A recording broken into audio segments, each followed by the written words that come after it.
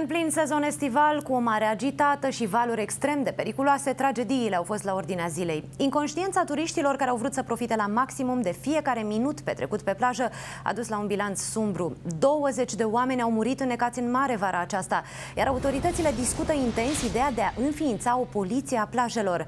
Salvamarii și scafandrii sunt de acord ca turiștii care nu iau în seamă avertismentele salvatorilor să fie sancționați.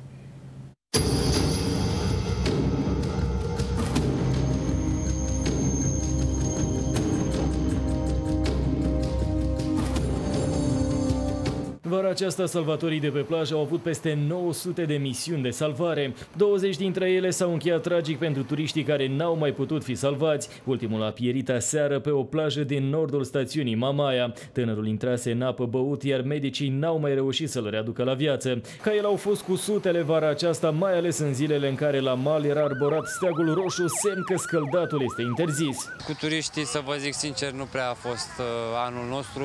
Majoritatea nu ne-a prea înțeles.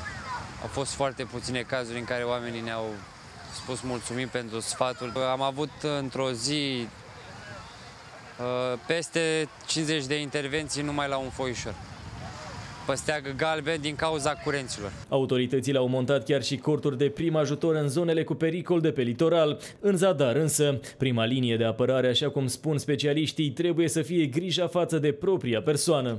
Sunt mulți inconștienți, teribiliști nu-și, nu-și dau seama, nu judecă. O familie au venit și s-au întors în acasă, doar mama cu fica, fratele și tatăl au rămas aici, că s-au dus și nici, i-au găsit de foarte târziu. Marea este înșelătoare, spun salvatorii. La suprafață este calmă, dar în adâncuri se formează curenți care funcționează exact ca niște benzi rulante. Te trag în larg fără să îți dai seama.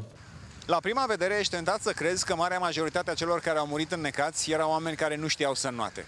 Ei bine, realitatea contrazice modelul ăsta de gândire. Din potrivă, cam 75% din cei care au sfârșit în mare vara aceasta erau oameni care se pricepeau la not. Tocmai de aceea au ignorat sfatul salvamarilor, s-au trezit foarte în larg, duși de curenți și au obosit să mai dea din mâini înapoi către mal. Majoritatea turiștilor, uh, când vin la mare, nu cunosc uh, uh, mai ales curentul.